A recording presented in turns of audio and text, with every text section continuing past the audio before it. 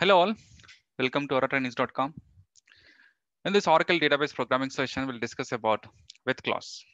Okay, so let's get into the objective. So after completing this session, we should be able to understand what is the need of with clause and how do we use a with clause to run the queries in effective manner.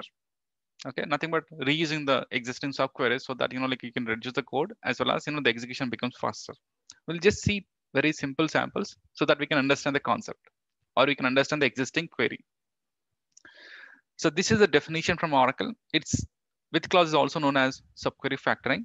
So what exactly it will tell you is like uh, whenever you use with clause, the query which is which you mentioned will will be mentioning a query name to the query. What are the subquery which we mentioned, right? So here, if you observe carefully, this is our clause with clause, and we'll be mentioning a query. And for the query, we'll mention a query name. Like for a cursor, we'll mention a cursor name. For the query name, for a query, we'll mention a query name. This query name will contain the set of subquery. Okay, and you can also have n number of subqueries. Okay, after that, you can mention your main query. That main query uses these particular subqueries, or you know, like uh, the the with clause queries so that you know like uh, you can reuse them rather than you know repeatedly writing your subqueries repeatedly there okay?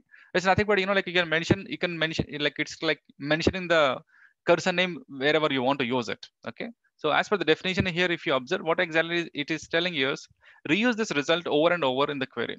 So we can factor out a subquery that is used more than once and reuse it. Result resulting in perhaps a better plan. It can also make the query overall more readable okay? Rather than writing the same code multiple times you can simply mention that relevant query name or nothing but i can say table name so that you know like uh, you can reduce the coding as well as understandable also it becomes very good. Let us see the simple example first. So in this simple example what i've done our, what we're trying to do is we're trying to get the department count. Without using with clause also we can achieve it but our aim is to understand how we can use the with clause okay? So the starting keyword is with mention the keyword with followed by mention the query name. It's a user defined query name as again is a keyword followed by a query name inside this particular parenthesis okay? With department count as mention your query name and then now this this particular query name is nothing but a table name. You can consider it as a table name or a view name. And then you can join them you can join that particular above query name with the in the below query so now what I've done is like our with clause is ending here. After with clause is ended, uh, once the with clause is ended, and you just need to write your own query, whichever query which you want to consider, write the query. And here, if you observe, I mentioned the department underscore CNT. So this department underscore CNT is not the actual table, but this is a virtual table or a query name or whatever you call it as. This is a table. This is a virtual table from the department with the with clause. Mention that and execute the query.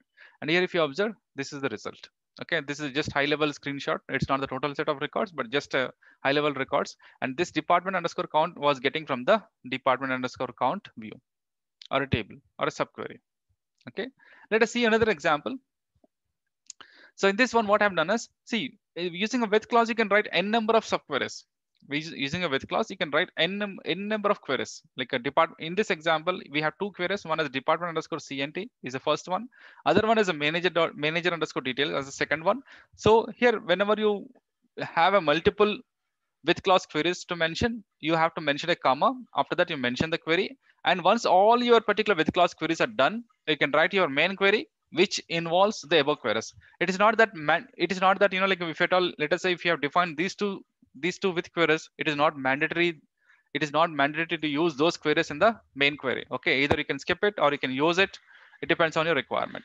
Now, once once you achieve all this functionality, you can simply mention them and execute it. So this is how you can. This is how you know like you can make use of with clause.